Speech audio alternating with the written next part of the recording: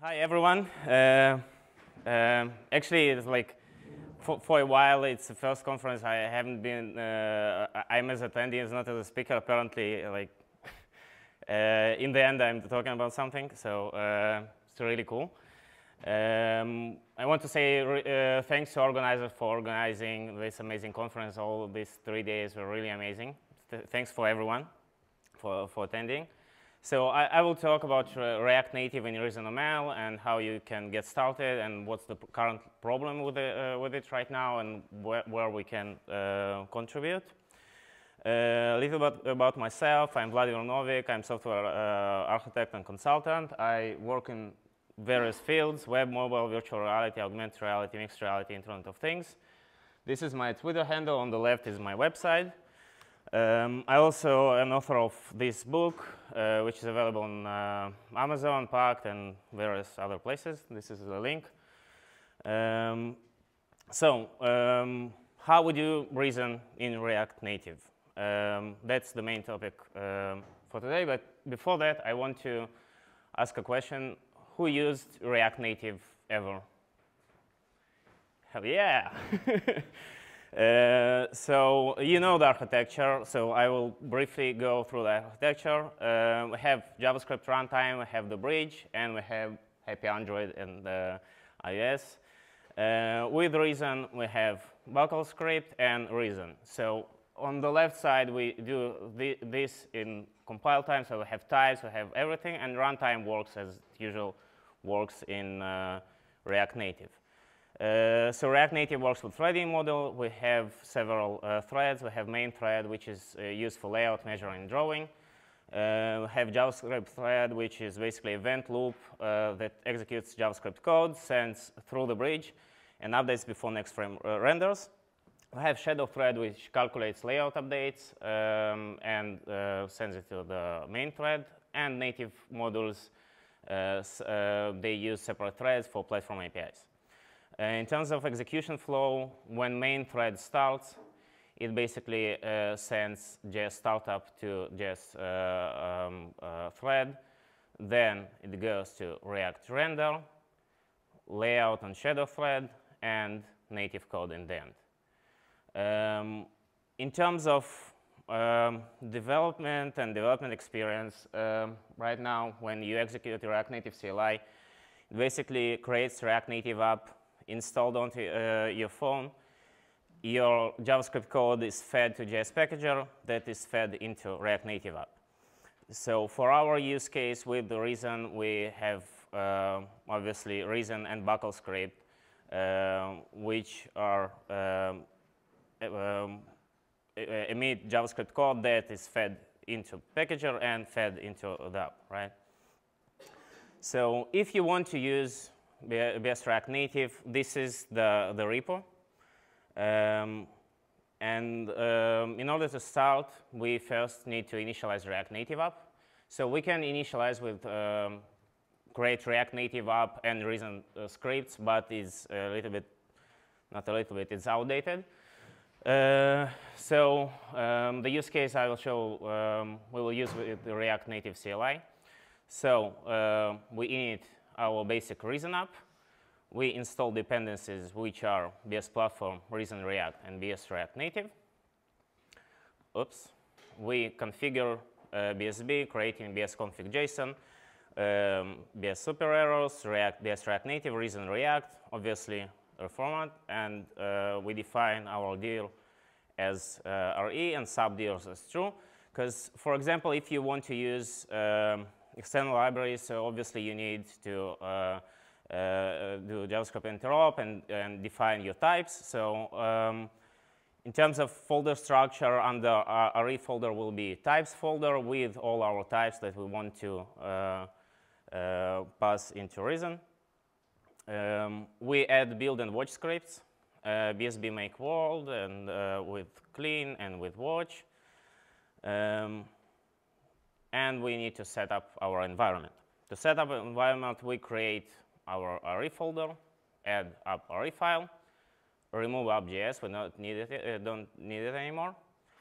And in our index, which is main endpoint for our uh, application, we write this code. So we import from lib.js app, meaning it won't work if you install everything and just uh, start watch. So you need to build and then you can uh, watch on uh, BSB. Uh, then you register your component with the app. So this is the setup, the, like the basic setup. There is a repo I created, which is uh, this like basic bootstrap for, for, for the app. You can use it. Um, in terms of reason code, so there are various differences when, uh, obviously, when, when we write uh, React Native with reason. We open BS React Native. If you've tried React Native, uh, BS React Native before, like five months ago, something like that, it was without BS prefix. Now it's BS React Native. Uh, styles I used uh, differently than um, I used in JavaScript. So uh, for creating your style sheets, you do style sheet create, pass a wrapper, and you create style in this way. There are some problems with uh, um, these values because sometimes it's points, sometimes it's floats. Um, I, I, will um, go through all the problems later on. It's not few, uh, quite a few problems. Uh, our app will look like this. So we have different options to pass our styles. We can pass them as style sheet, as I showed you before. We can pass directly here. This is, for example, points. It, it, needs to accept point. Previously, it was without points. It was just a float. Um, we pass text, which is, uh, as you can see, is different as uh, it's in uh, uh reason React. When you do reason React uh, uh, string and whatever, inside div, here you need to pass a value. Um, and there are various changes in various components that are quite different. In order to start our project, we start, uh, we build, then we start in watch mode. And only then uh, we need to run our iOS app or Android app. Um, and it will look like this, like Reason is awesome. This is like the, the basic app that we'll get. So the main point uh, is not only like to get, uh, to introduce you to BS React Native, is also to talk about various problems it has right now and the current stat of, uh, status of it and why it's not widely adopted right now. So uh, not all API are covered. There are pretty uh, uh like common APIs, for example, linking is not covered, is not supported. So there is like regular, uh, there is an option to contribute there. There are various options to contribute to the, to the repo. So currently, uh, we have warnings on uh, using JS booleans, because right now we can just use booleans, so we can go to BS React Native and just like, it, it's an easy fix, right? But we need, so, someone needs to contribute. And later on, um, uh, will appreciate if uh, I will work on contributing to BS React Native. I will appreciate if like people will jump in and start contributing. Uh, styles are not unified. As I uh, told you before, there are floats, there are points. Um, sometimes it doesn't really make sense from uh, why, why, it looks different. No docs. And yeah, again, no docs. That's the main problem, in my opinion, for low adoption rate. Because uh, if you go to the repo, uh, these are the docs. That's it. That, that's the whole uh, docs. So if you want to write BS React Native, you obviously need to look at the source code. Um, there are a bunch of APIs that are supported, a bunch uh, of APIs that are not, uh, not supported. But if you even want to know about each API and how it works, and as I told you before, it's, uh, API is quite different uh, you need to just look at the source code. And it's not really a good thing for adoption. Uh, so also, we can contribute on that part. We can just write docs. So for, for people that uh, don't want like to dive in to like creating new API or stuff like that, just write docs. I mean, like really easy things to do. And uh, on the way, you will also learn how to use the uh, specific API and stuff like that.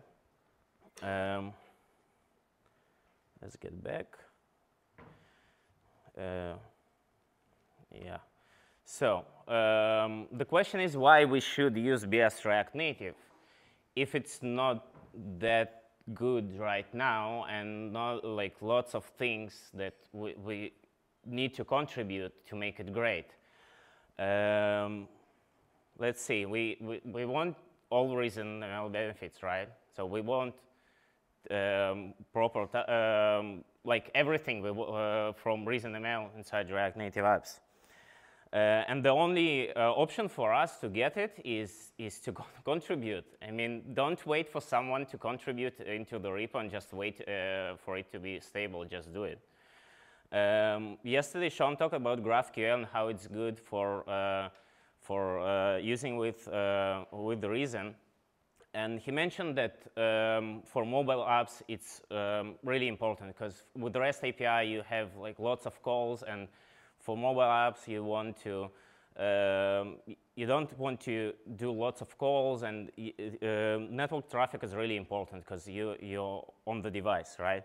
So GraphQL um, API is really adopted uh, well in mobile uh, development and uh, most mobile apps nowadays use GraphQL. So um, if it's right now, it's really easy to use it for the reason so we, we can just do that. Um, most of mobile apps currently are written with TypeScript or Flow. Um, I don't need to explain why it um, is better to write in Reason, right? Obviously, you, you are here uh, at ReasonConf. So uh, it means also that we can take the existing apps or, or, parts of existing apps that are written in TypeScript and Flow and use reasonably type to convert type and Flow to reason. And uh, we can get the basic idea how it's converted and then like optimize it, uh, it more, but um, it's really uh, relatively easy to do. Um, so that's basically all. It's a, sh a really short uh, talk. So I really encourage everyone who uh, want to use uh, React Native with reason just jump in and contribute, just write docs, just like start uh, doing stuff on, on, that part. And you will see how the community will grow, how the uh, adoption of uh, Reason uh, in React Native will grow. And uh, I think it's really important for us to, to do that. Um, so um, there is the basic skeleton app, which is available here. Uh, well, okay, weird animations. So BS React Native, this is the repo, and slides are available here. I will publish it right now. So if you want just to walk uh, through the slides, uh, it's here. Yeah, and uh, if you want to uh, later on uh, during the hackathon, if you want to help with the docs or with anything with the BS React Native, just find me and let, let's do it. Thanks.